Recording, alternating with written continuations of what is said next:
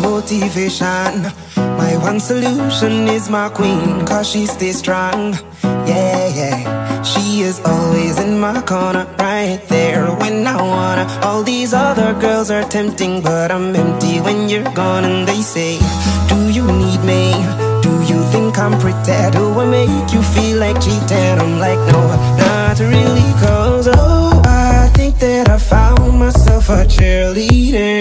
She is always right there when I need her. Oh. Al fin al agua. Al final agua. Bueno, dejó de llover. Hicimos ayer una canción, muchos bolichos para que deje llover y acá estamos. ¿no? Sirvió. Sirvió, sirvió. Ahora todos se la pile, un poco más contentos. Los chicos también estaban esperando la pileta, así que bueno, contentos todos.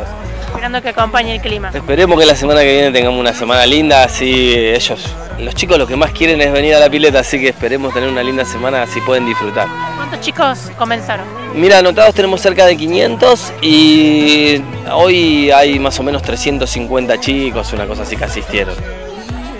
Sobre las actividades programadas ya para la semana próxima. Bueno, ya la semana que viene comenzamos con las edades más grandes con los campamentos. El martes tenemos el campamento de 12 y 13 y el jueves tenemos el campamento de 10 y 11.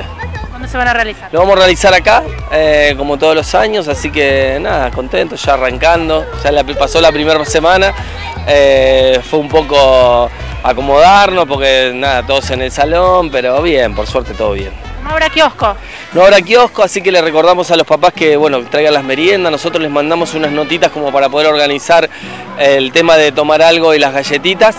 Eh, así que bueno, eh, que las vayan trayendo y los profes las van guardando y las van distribuyendo. Son varias horas acá. Son varias horas, les eh, pedimos un paquete grande de galletitas y un par de sobres de jugos, entonces los profes van distribuyendo los paquetes eh, a medida que van pasando los días y preparándole jugo para los chicos para que tomen.